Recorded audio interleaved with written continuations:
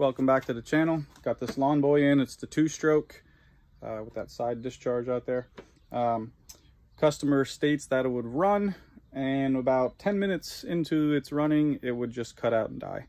Um, I confirmed it, I let it run for a little while. It uh, did exactly as I said. And the first thing I checked for um, is does it have spark?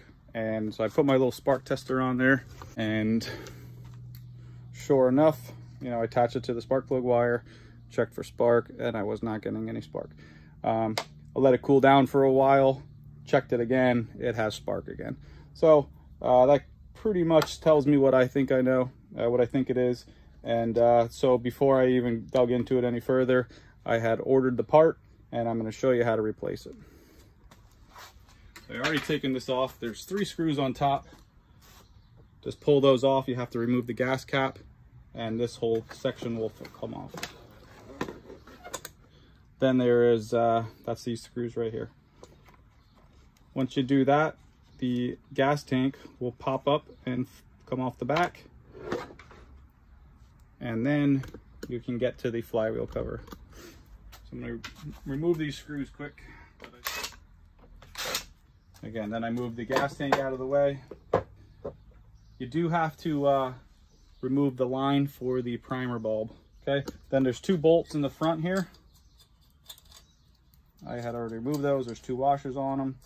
That will remove the front end of the flywheel cover.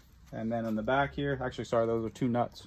And in the back here, there's two bolts, which for some reason are all different sizes. And that will remove the rest of the flywheel cover. So now you got to the flywheel. Here is the problem. This coil went bad.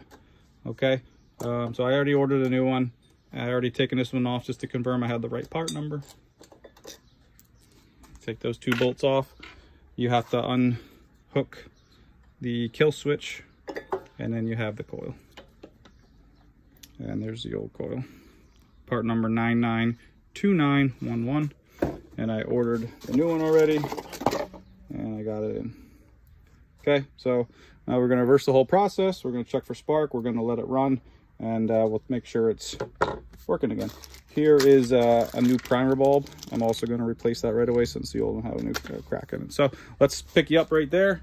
Wasn't too hard to get to. You know, the biggest, the hardest thing is diagnosing what's wrong. You know, if you're running it and all of a sudden it just shuts off and it just dies like suddenly and it will not restart, usually not a fuel problem. If it's a fuel problem, you'll get kind of a spitter sputter or a dieseling revving up and down. Um, this does not do that. It's it's off like a light switch. So let's get that new coil on and I'll show you how that works. All right, goes on right like that. I'm just gonna finger tight it for now. Finger tight. because this has to be gapped. Uh, otherwise, it'll just hit the flywheel and stick to it, and then you don't have enough space, and it just kind of grinds, and you won't get any spark. So what I use which is the oldest trick in the book, is a business card. All right. Stick that between the flywheel and the coil. Okay, and then we're going to tighten that down. On this one, it's 3 8 So we're just going to make it snug, and then we're going to tighten. Don't over tighten. You're going into aluminum. Good. Now we can turn this and get the card out. And now I should have a nice even gap there, and I do. Okay, that's on. Just got to reconnect kill wire. And then the spark plug wire is just going to hang there until I get the spark plug back in and everything back on. But we're going to reverse everything going back. I'm going to replace the fuel filter quick before I put everything back in because it's easy to access from here. The fuel lines are in good shape.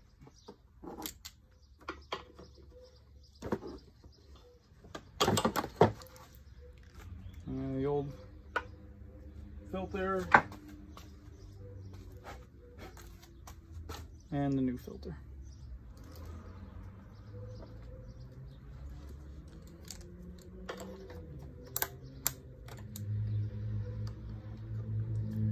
Your fuel uh, can relatively clean. You're not and you keep the gas cap on. You shouldn't have too much problems with that uh, getting dirty in there, but it's good practice to do it every once in a while anyway. All right this is your primer line, and I'm going to replace the primer, which is here on the cover.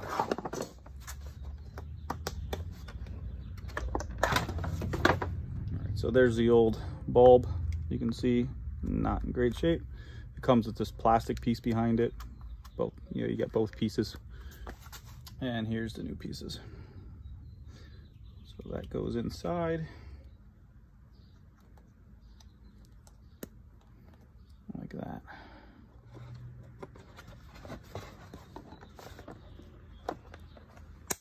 Right, like that.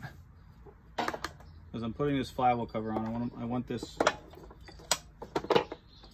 spark plug wire to come down off the side here, right off the side.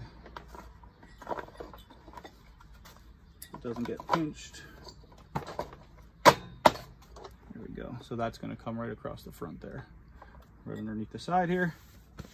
So in the front, two washers on this side, two washers on that side half inch nut, half inch nut. On the back here, we have a 7 16 bolt.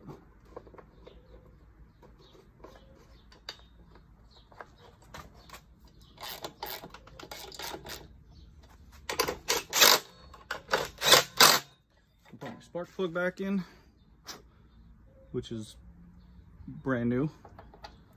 My guess is when this guy was trying to fix his own machine. Thought maybe spark plug, which is not a bad idea.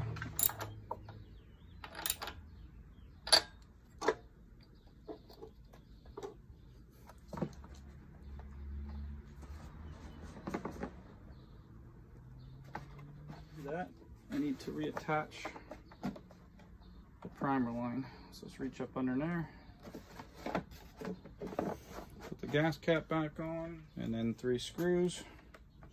Don't over tighten these either. Uh, it's screwing into plastic. All right. So replace the fuel filter. The air filter was clean. We had to replace that too. Replace the coil and we replaced the, the primer line or the primer bulb. So I'm going to start this. I'm going to let it run for, we'll try to let it run for about 15 minutes. And uh, if it doesn't shut off, then we know we got it. All right, we're going to go for the first start here. Have the handle locked down so I can walk away from it. Choke it.